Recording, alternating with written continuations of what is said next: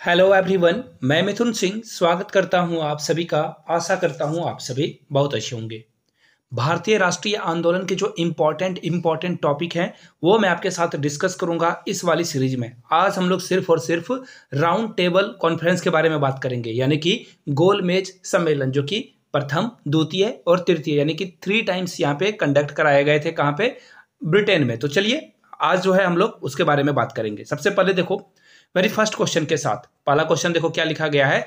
Which of the following Indian leader attended the first R T C यानी कि R T C का मतलब हो गया round table conference in London यानी कि कौन से भारतीय नेता थे जो कि लंदन में जो है प्रथम गोलमेज सम्मेलन में शामिल हुए थे?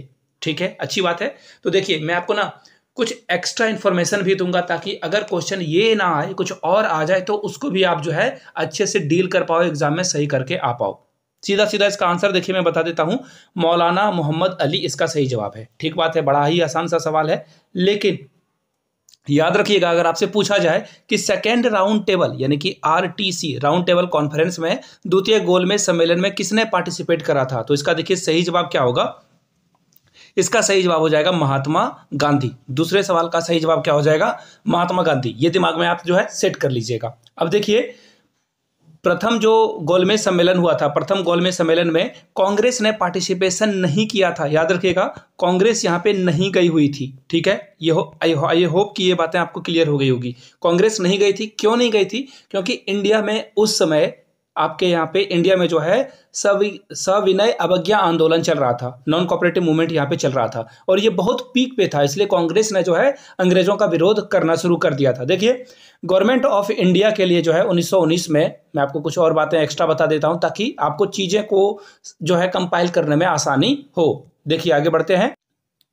1919 में देखिए क्या किया गया था। गवर्नमेंट ऑफ़ इंडिया के द्वारा मांग रखी गई थी कि पॉलिसी मेकिंग यानी कि जो नियम कानून वगैरह बन रहा है, राज्य में कैसी नीतियाँ लागू होगी पॉलिसी मेकिंग वगैरह में जो है इंडियन का भी जो है पार्टिसिपेशन हो इंडियन को शामिल किया जाए। पार्टिसिपेशन पॉलिसी दोनों में जो है इंडियन को शामिल किया जाए और एडमिनिस्ट्रेशन जैसे कि पुलिस वगैरह में तो शामिल ही है, लेकिन बड़े बड़े रैंक पे भी जो है इंडियन को शामिल किया जाए, ऐसी मांग रखी गई थी। अब देखिए, इन्होंने एक और बात रखी गई थी कि एक ऐसी कमेटी का गठन किया जाए, एक ऐसी रिफॉर्म को लाया जाए, जहाँ पे 10 साल के बाद, अभी तो जो मिल रहा है वो मिलना ही चाहिए, और 10 साल के बाद फिर से एक बार रिव्यू किया जाए, एक रिव्यू कमेटी का गठन किया जाए, जो कि रिफॉर्म और जो भी चेंजेस हैं, यानी कि जो बदलाव आने चाहिए, जो चेंज आना चाहिए, वो किया जाए। तो देखिए, अंग्रेज़ों ने इन लोगों की बात मान ली इंडियंस की बात मान ली, इन लोगों, यानी हम लोगों की बात मान ली। और साइमन साइमन कमीशन आपने सुना होगा साइमन कमीशन को जो है यहाँ पे लगा दिया और बोला कि भैया, तुम रिपोर्ट तैयार करो। और आपको जानकर हैरानी होगी साइमन कमीशन में कोई भी इंडियन शामिल ही नहीं था कोई भी भारतीय नहीं था नो इंडियन। तो इसलिए जो है इसका बहुत विरोध हुआ। साइमन कमीशन गो बैक के नारे लगाए गए बोला गया कि तुम वापस चले जाओ। आई होप कि आपको सारी बातें क्लियर हो, हो रही होगी यहाँ पे। और अब देखिए क्या हुआ। अब देखिए ये तो जो मैंने कहा ना दस साल के बाद एक कमीशन का गठन किया जाना था तो अंग्रेज़ों ने साइमन को कर दिया। अब देखिए इंडिया की तरफ़ से नेहरू नेहरू जो है, नेहरू रिपोर्ट की बात की जाती है। नेहरू ने अपना रिपोर्ट सौंपा और इसी तरह से जिन्ना, मोहम्मद अली जिन्ना, जो कि पाकिस्तान को लेकर आप जो है, उनको जानते होंगे, जिन्ना ने फोर्टीन पॉइंट रखा अपने पॉइंट ऑफ़ व्यू से, ठीक है? और ये जो है, अपना पॉइंट ऑफ़ व्यू रखते हैं। और तीसरा जो था, आपको पता ही है, साइमन कमीशन की जो रिपोर्ट रखी गई थी S R Simon commission report थी, ये तीन रिपोर्ट हो गए। अब देखो, सरकार किसकी बात मानेगी? नेहरू की मानेगी, जिन्ना की मानेगी या साइमन कमीशन की बात मानेगी? तो इसके लिए जो है ब्रिटिशर्स ने इंडियंस को कहा कि आओ एक राउंड टेबल कॉन्फ्रेंस करते हैं और हम लोग मिल बैठकर इसमें बात करेंगे। देखिए, राउंड टेबल एक्चुअली आप जब आप देखोगे राउंड टेबल की फ़ोटो वगैरह, यहाँ से मैं आपको फ़ोटो लगा कर दिखा देता हूँ। तो देखिए, यहाँ पे आपको दिख रहा होगा, मेज ओवल शेप में है। गोल नहीं है, लेकिन फिर भी राउंड टेबल कहने का मतलब है कि जहाँ पे सभी जो है बराबरी के साथ बैठेंगे, कोई बड़ा, कोई छोटा नहीं, और एक दूसरे के साथ डिस्कस करेंगे। गोलमेज सम्मेलन का ये मकसद था, ठीक है? लेकिन जब आप देखना कहीं किसी दोस्त के यहाँ, रिश्तेदार के यहाँ जाते हो तो ऐसी जो है टेबल लगी होती है रेक्टेंगल शेप की, जहाँ पे होस्ट जो होता है वो यहाँ बैठेगा और उसकी वाइफ यहाँ बैठेगी और जो आप गेस्ट वगैरह हो, वो इधर आपको जो है सिट कराया जाता है। यहाँ पे जो है सुपीरियर और इन्फीरियर की बात की जाती है, ऊंच और नीच की बात की जाती है बट ऐसा नहीं होता है बट ऐसा किया जाता है। लेकिन राउंड टेबल में क्या होता है, सभी बराबर होते हैं। तो बोला गया कि राउंड टेबल कॉन्फ्रेंस हम लोग करेंगे। अब देखिए, पहले राउंड टेबल में मौलाना मोहम्मद अली पहुँचे हुए थे और हिंदू महासभा, याद रखिएगा, हिंदू महासभा के लोग भी यहाँ पे गए हुए थे। याद रखना इस बात को एग्ज़ाम में क्वेश्चन पूछा जाता है। हिंदू महासभा भी यहाँ पे पहुँची हुई थी और कुछ और चीज़ों को अगर आप देखोगे तो देखिए इसमें जो है मुस्लिम लीग के भी लोग गए हुए थे, जिसे मैं डेफिनेटली मोहम्मद अली जो है यहाँ पे पहुँचे हुए थे। मुस्लिम लीग के लोग भी यहाँ पे गए हुए थे। याद रखिएगा इस बात को। अब देखिए, यहाँ पे गया कौन नहीं था? तो याद रखिए, कांग्रेस की ओर से कोई भी पार्टिसिपेशन नहीं थी। कांग्रेस के कोई भी लोग यहाँ पे नहीं गए हुए थे। याद रखिए, कुछ और इंपॉर्टेंट पॉइंट मैं एक्स्ट्रा बता देता हूँ, उसके बाद तो क्वेश्चन आंसर है ही। तो देखिए 58 ब्रिटिशर्स जो पॉलिटिशियन थे इंडियन पॉलिटिशियन ब्रिटिश पॉलिटिशियन ये 58 पॉलिटिशियन यहाँ पे पार्टिसिपेशन किया था। 16 जो प्रिंसली स्टेट थे वो यहाँ पे पार्टिसिपेट किए थे, जो प्रिंसली स्टेट के डेजिग्नेट अधिकारी थे, वो यहाँ पे गए हुए थे। राजा, है आप समझ लो। और तीन ब्रिटिश पार्टीज़ जो ब्रिटिश पॉलिटिकल पार्टी है, वो यहाँ पे शामिल हुई थी। ठीक है? ये बहुत बहुत इंपॉर्टेंट सवाल है। ठीक है? अब आगे देखिए, हिंदू महासभा की ओर से कौन गया था? तो देखिए, मोंजी जो है, वो हिंदू महासभा की ओर से गए हुए थे, ठीक है? ये सवाल पूछा जाता है। और डिप्रेस्ड क्लास, यानी कि जिसे छुआछूत वाली क्लास कहा जाता है, वहाँ से बी आर अंबेडकर और रतन ले स्वामी निवास जो है, यहाँ पे पार्टिसिपेशन उन्होंने किया था। सिख की ओर से उज्जवल सिंह गए हुए थे, याद रखिएगा। आप पेन पेपर पे नोट डाउन कर लीजिएगा। ये लोग यहाँ पे पार्टिसिपेशन इन लोगों ने किया था, ठीक है? यानी कि पहले जो राउंड टेबल सम्मेलन में कांग्रेस ने पार्टिसिपेशन नहीं किया था, ये था पहले क्वेश्चन का एक्सप्लेनेशन। अब जो है आप चीज़ों को अच्छे से समझ पाओगे। आगे देखिए। अगला सवाल है कि प्रथम गोल में सम्मेलन में निम्नलिखित में से कौन सा बात सच नहीं है, गलत है? ये आपसे पूछा गया है। अच्छी बात है। तो देखिए, यह 1930 में आयोजित किया गया था, बिल्कुल ये सच बात है। ठीक है? एब्सोल्यूट ओके है। यह साइमन कमीशन की रिपोर्ट पर चर्चा होने वाला था, बिल्कुल सही बात है। साइमन कमीशन के रिपोर्ट पे तो डिस्कशन होना था। देखिए, मैंने पहले क्वेश्चन में आप लोगों को भूमिका जो है बाँध दी है। तीसरे क्वेश्चन की ओर बढ़ते हैं। यह लंदन में आयोजित किया गया था। डेफिनेटली ये लंदन में आयोजित किया गया था। यानी कि पहला, दूसरा, तीसरा तो सही है। लेकिन यहाँ पे पूछा गया, कौन असत्य है? नॉट ट्रू इसमें कांग्रेस के प्रतिनिधि ने भाग नहीं लिया था। मैंने कहा था ना फ़र्स्ट आरटीसी में कांग्रेस की ओर से कोई नहीं गया था। तो सही आंसर क्या हो जाएगा? ऑप्शन नंबर डी चलिए, अब देखियो आपको कैसे समझ में आएगी चीज़ें। कहानी बनाकर मैंने समझाया है। अब देखो, सारे क्वेश्चन का आंसर आप जो है दे पाओगे। अगला क्वेश्चन देख लो। लंदन में आयोजित प्रथम गोलमेज सम्मेलन में भारतीय ईसाइयों का प्रतिनिधित्व किसने किया था? मैंने महासभा, मोंजी के बारे में बताया था। डिप्रेस क्लास की ओर से जो है, बी आर अंबेडकर रतनलाई स्वामी श्रीनिवास जो है गए हुए थे। सिख की ओर से जो है, सरदार उज्जवल सिंह यहाँ पे प्रेजेंट थे। लेकिन यहाँ पे पूछा गया है कि जो क्रिश्चियन कम्युनिटी थी, उसको जो है किसने रिप्रेजेंट किया था? तो केटी पॉल ने क्रिश्चियन कम्युनिटी को प्रेजेंट किया था। इसका भी सही जवाब क्या होगा? ऑप्शन नंबर डी ठीक है? देखिए, आगे बढ़ते हैं, अगले सवाल की ओर। पूछा गया है which of the following leader participate in second round table conference RTC second की बात हो रही है, पहले की बात हो गई। देखिए सेकेंड में जो है सेकेंड जो राउंड टेबल कॉन्फ्रेंस हुआ था उसमें गांधी जी गए हुए थे कांग्रेस की ओर से। तो कांग्रेस ने पार्टिसिपेशन किया, बिल्कुल किया। गांधी जी गए हुए थे, बिल्कुल गए हुए थे। बी आर अंबेडकर जो कि डिप्रेस्ड क्लास को रिप्रेजेंट कर रहे थे, वो भी राउंड टेबल जो सेकेंड राउंड टेबल हुआ था, उसमें गए थे। और मैं आपको एक सवाल ही बता देता हूँ, और आगे बढ़ेंगे उसके बाद। देखिए, बी आर अंबेडकर साहब जो थे, वो तीनों राउंड टेबल में प्रेजेंट थे। पहले राउंड टेबल कॉन्फ्रेंस में बी आर अंबेडकर प्रेजेंट थे, दूसरे में भी वो प्रेजेंट थे, तीसरे में भी वो प्रेजेंट थे। अब दूसरे राउंड टेबल की मैं थोड़ी सी आपको जो है भूमिका बांधकर बता देता हूँ और डिटेल में चीज़ों को समझा देता हूँ ताकि आप जो है आसानी से जो है इसको याद रख पाओ। देखिए, सितंबर में ये हुआ था 1931 में। अब ये हुआ क्यों था? ये हो क्यों पाया था? इसके पीछे जो है जिस इंसान का हाथ है, वो दो इंसान थे जिसका नाम है पहला सप्रू और दूसरा है एम आर जयकर।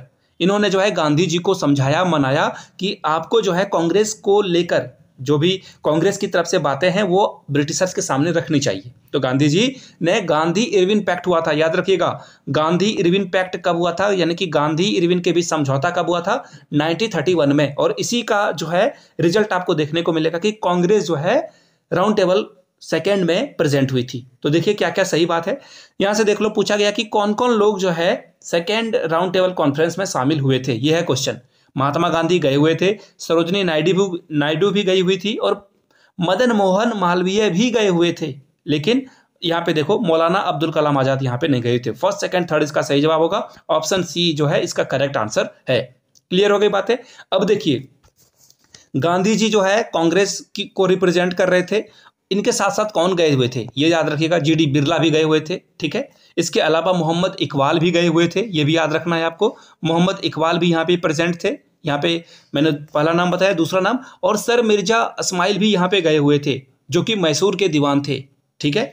इसी तरह से एस के दत्ता भी यहाँ पे गए हुए थे, याद रखना, ये ये नाम बहुत इंपॉर्टेंट है। और सर सैयद अली इमाम, ये भी यहाँ पे प्रेजेंट थे, और बी आर अंबेडकर तो डेफिनेटली गए हुए थे। चलिए, आगे बढ़ते हैं, पाँचवें सवाल की ओर। At which one of the following round table conference held in London was Mahatma Gandhi was present? देखिए, पूछा गया है कि लंदन में जो आयोजित हुआ था गोलमेज सम्मेलन, गांधी जी किसमें प्रेजेंट थे? मैंने बताया, पहले में कांग्रेस तो रिप्रेजेंट थे ही नहीं सेकेंड में डेफिनेटली गांधी जी गए हुए थे। गांधी इरविन समझौता के बाद। तो इसका सही जवाब क्या हो जाएगा? ऑप्शन नंबर बी यानी कि गांधी जी जो है सेकेंड राउंड टेबल में गए हुए थे। क्वेश्चन ये भी पूछा जाएगा कि तीनों राउंड टेबल कॉन्फ्रेंस यानी कि गोलमेज सम्मेलन में कौन शामिल हुआ था? डेफिनेटली एक ही नाम याद आना चाहिए बी आर अंबेडकर ठीक है? चलिए, अब थोड़ा सा ये लंबा क्वेश्चन है, ये मैं आपको समझा देता हूँ। पहले देखिए, दावा किया गया है कि जवाहरलाल नेहरू ने दूसरे गोलमेज सम्मेलन में 1932 में भारतीय राष्ट्रीय कांग्रेस का प्रतिनिधित्व किया, ठीक है? ये सही बात है क्या? बिल्कुल गलत बात है। क्यों? क्योंकि जवाहरलाल नेहरू ने नहीं, बल्कि महात्मा गांधी ने जो है राउंड टेबल सेकेंड को जो है रिप्रेजेंट किया था कांग्रेस की ओर से। तो पहला स्टेटमेंट रॉन्ग हो गया। दूसरा क्या है? गांधी इरविन संधि 1931 में यह निहित था कि भारतीय राष्ट्रीय कांग्रेस दूसरे गोल में सम्मेलन में भाग लेगी। बिल्कुल सही बात है। गांधी जी, गांधी इरविन पैक्ट के बाद ही जो है यहाँ पे गए हुए थे। तो ये बात तो सही है। लेकिन पहला गलत, दूसरा सही, और सही जवाब क्या होगा? Option number D. यानी कि जो असरसेशन है, यानी कि जो दावा किया गया है, तथ्य बोला गया है, वो गलत है। लेकिन इसका जो कारण दिया गया है, वो तो सही है। जवाहरलाल नेहरू गए नहीं थे यहाँ पे। आगे बढ़ते हैं सातवें सवाल की ओर। महात्मा गांधी जब जहाज़ में एक कांग्रेस प्रतिनिधि के रूप में दूसरे गोलमेज सम्मेलन में भाग लेने के लिए लंदन गए थे, जिसे इस नाम से जाना जाता है। एक्चुअली वो कहाँ ठहरे थे, ये सवाल पूछा गया है। तो देखिए किंग्सले हॉल में उनको ठहराया गया था, ये बहुत इंपॉर्टेंट है। बहुत एग्ज़ाम में ये सवाल पूछा जा चुका है। कहाँ पे ठहराया गया था? किंग्सले हॉल में। अब बात आती है कि किस जहाज़ से वो गए थे? इसके बारे में भी आगे सवाल है। मैं वहाँ ले लूँगा इस सवाल को। ठीक है? आगे देखिए। दूसरे गोलमेज सम्मेलन में भाग लेने के लिए महात्मा गांधी बंबई से लंदन के लिए रवाना हुए थे। बंबई यानी कि आज की मुंबई। तो कांग्रेस में एक कांग्रेसी प्रतिनिधित्व के रूप में जाना जाता है। वो गए थे। एक्चुअली यहाँ पे जहाज़ के बारे में पूछा गया है कि वो सिप जो है, वो जहाज़ जो है, किस नाम से जाना जाता है? ठीक है? चलिए देखिए, इसका सही जवाब है एस एस राजपुताना। इसका नाम क्या है? S S Rajputana. क्लियर हो गई बातें? यहाँ से देखिए। निम्नलिखित में से किस गोलमेज सम्मेलन में भारतीय राष्ट्रीय कांग्रेस के एक प्रतिनिधित्व ने पहली बार वेरी फ़र्स्ट टाइम पार्टिसिपेशन किया? तो देखिए, पहले राउंड टेबल कॉन्फ्रेंस से जो है कांग्रेस गायब थी तो पहली बार जो है सेकेंड राउंड टेबल कॉन्फ्रेंस में कांग्रेस यहाँ पे शामिल हो गई थी। तो इसका सही जवाब क्या होगा? Second round table conference B इसका सही जवाब होगा। बी के साथ आपको बढ़ना था। आगे बढ़ेंगे। द्वितीय गोलमेज सम्मेलन में किस मुद्दे पर यह विफल हो गया? यानी कि ये जो है, नहीं हो पाया फेल हो गया ये। देखिए कॉम्युनल डेलीगेशन से जो है कॉम्युनल अभी आगे हम लोग जो है, आगे जो क्वेश्चन आएगा ना, उससे आप चीज़ों को समझ पाओगे। गांधी जी का कहना था कि इंडिया में रहने वाले सभी भारतीय हैं और कोई भी जो है मुस्लिम या फिर दलित समाज को रिप्रेजेंट नहीं करेगा। कांग्रेस ही सभी को रिप्रेजेंट करेगी। हिंदू, मुस्लिम, सिख, ईसाई सभी जो है इंडियन हैं। सबसे पहले वो इंडियन है, बाद में वो किसी धर्म को रखते हैं। इसलिए जो है यहाँ पे अंग्रेज़ का तो काम ही था, आपस में इनको लड़ाओ और अपना फ़ायदा निकाल लो। तो गांधी जी जो है, इसके सख्त खिलाफ थे और इन्होंने आमरण अनशन भी करा था। ठीक है, आगे बढ़ेंगे और उन चीज़ों को भी देखेंगे। देखिए, तीनों गोल में सम्मेलन में भाग लेने वाले भारतीय का नाम बताइए। तो देखिए, आपको मैंने पहले ही बता दिया था, बी आर अंबेडकर जिनको जो है, संविधान निर्माता कहा जाता है, उन्होंने तीनों गोल में सम्मेलन में पार्टिसिपेशन किया था फ़र्स्ट सेकेंड थर्ड में। ठीक है? आगे देखिए, अब पूछा गया है, निम्नलिखित कथनों पर विचार करना है आपको। प्रथम गोलमेज सम्मेलन में डॉक्टर अंबेडकर ने दलित वर्गों के लिए अलग निर्वाचन मंडल की मांग की थी। सही बात है। और ये सही बात है, ठीक है। पूना पैक्ट में दबे कुचले लोगों को स्थानीय निकाय और सिविल सेवा में प्रतिनिधित्व के लिए विशेष प्रावधान दिए गए थे। बिल्कुल सही बात है, पूना पैक्ट में ये बातें की गई थी। तीसरा सवाल है, भारतीय राष्ट्रीय कांग्रेस ने गोलमेज सम्मेलनों में भाग नहीं लिया है। तो देखिए ये बोला गया है कि गोलमेज सम्मेलन में भाग नहीं लिया गया है। आपको बताना है कि निम्नलिखित कथन में से जो है कौन सा कथन सही है? तो देखिए, बिल्कुल सही बात है, तीनों गोलमेज सम्मेलनों में तो कांग्रेस ने भाग नहीं लिया था, पहले वाले में नहीं लिया था तो डेफिनेटली ये स्टेटमेंट करेक्ट हो जाता है। तो सही जवाब क्या होगा? ऑप्शन एक भी सही है, दो भी सही है, तीन भी सही है। और देखिए, ये तीनों ऑप्शन आपको कहाँ मिलेगा? ऑप्शन नंबर डी में, यानी कि ये स्टेटमेंट क्या है? बिल्कुल करेक्ट है। आगे देखिए who among the following issued the communal award communal award जो है सांप्रदायिक पुरस्कार किसने जारी किया था? तो देखिए, रामाशय, जो मैकडोनाल्ड थे, उन्होंने जारी किया था। ये मुस्लिम लीग को ये अवार्ड दिया गया था। इसके खिलाफ थे गांधी जी वो कह रहे थे कि ये जो अंग्रेज़ हैं, ये देश को तोड़ना चाहते हैं, मुस्लिम और हिंदू को आपस में लड़ाना चाहते हैं। आगे देखिए। अ सेपरेट इलेक्ट्रोल ग्रुप देखिए, यानी कि अगस्त 1932 में पहली बार रामसे मैकडोनाल्ड के सांप्रदायिक न्यायाधिकरण के द्वारा एक अलग चुनाव, चुनावी समूह बनाया गया था, उसका नाम क्या है? किसके लिए ये बनाया गया था? तो देखिए डेफिनेटली मैंने आपको बता दिया, मुस्लिम्स के लिए ये ये जो है, ये बनाया गया था। सॉरी मुस्लिम के लिए नहीं, ये जो है अनटचेबल्स के लिए बनाया गया था। देखिए गांधी जी का कहना था कि दलित जो है, अलग नहीं है हिंदू से, वो हिंदू में ही शामिल है। ये गांधी जी का कहना था तो ऑप्शन डी इसका क्या होगा? करेक्ट हो जाएगा। चलिए, आगे बढ़ते हैं, अगले सवाल की ओर। महात्मा गांधी ने पहला आमरण अनशन कब शुरू किया था? तो देखिए गांधी जी आमरण अनशन का मतलब होता है कि जब तक फास्ट वो करेंगे, जब तक मौत नहीं हो जाती, यानी कि उनकी बात नहीं मानी जाएगी, तब तक वो फास्ट पे ही रहेंगे, यानी कि कुछ खाना पीना वो जो है ग्रहण नहीं करेंगे। तो देखिए, इसका सिर्फ़ और सिर्फ़ एक ही रीज़न था, सांप्रदायिक पुरस्कार के समय में। वो नहीं चाहते थे कि हिंदू समाज से दलितों को अलग किया जाए, उनका मानना था कि सभी एक साथ ही बढ़ें।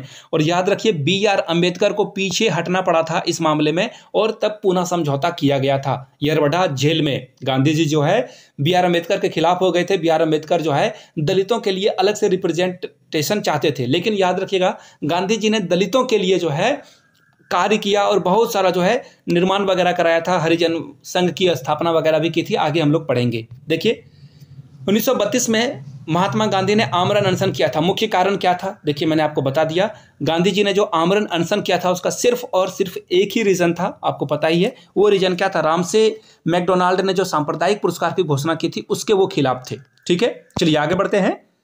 अब देखिए, दो सवाल है। एक फैक्ट है और एक उसका कारण है। देखिए, क्या है कारण? पूना पैक्ट ने सांप्रदायिक पुरस्कार के उद्देश्य को हरा दिया। ये दावा किया गया है। ठीक है? और देखिए क्या बोला गया है? इसने अनुसूचित जाति, अनुसूचित जनजाति लोगों के लिए संसद और राज्य विधानसभाओं में सीटों के आरक्षण का मार्ग प्रशस्त किया। बिल्कुल सही बात है, पूना पैक्ट में ही ये बातें की गई थी। पूना पैक्ट में आपको ये दोनों स्टेटमेंट, यानी कि दोनों बातें जो है, कही गई थी। तो दोनों करेक्ट है, इसका सही जवाब क्या हो जाएगा? बोथ आर ट्रू और जो पहला का एक्सप्लेनेशन दूसरा करता है। चलिए आगे बढ़ते हैं। 1932 में पूना पैक्ट के बाद हरिजन सेवक संघ की स्थापना हुई थी। मैंने कहा था ना आपको, गांधी जी ने अलग अलग मंचों से जो है दलितों के लिए काम किया था। अब इसके अध्यक्ष किसको बनाया गया है? ये सवाल है आपसे। तो देखिए, घनश्याम व्यास बिरला, वही जिनको जो है गांधी जी अपने साथ राउंड टेबल कॉन्फ्रेंस में जो है सेकेंड राउंड टेबल कॉन्फ्रेंस में लेकर गए थे। मैंने आपको बताया भी था। घनश्याम दास बिरला, इसका सही जवाब क्या हो जाएगा? Option number B Gandhi ji ने इनको जो है राउंड टेबल कॉन्फ्रेंस में भी लेकर गए थे और इनको हरिजन सेवा संघ की जो है स्थापना के समय अध्यक्ष भी बनाया गया है। अगला सवाल है, देखिए desperate class league was established by किसके द्वारा जो है डिप्रेस्ड क्लास लीग की स्थापना की गई थी? तो डेफिनेटली बी आर अंबेडकर के द्वारा जो है डिप्रेस्ड क्लास की रखी गई थी मांग कि इनके हकों को जो है, मारा जा रहा है और ये गलत बात है। ये ऐसा बी आर अंबेडकर ने कहा था। निम्नलिखित में से किसने कहा था कि गांधी जी छन मंगूर प्रेत की तरह धूल उड़ाते हैं लेकिन अस्तर नहीं। देखिए, इसका कहने का मतलब ये हो गया कि गांधी जी जो है ऊपरी ऊपरी बातें करते हैं,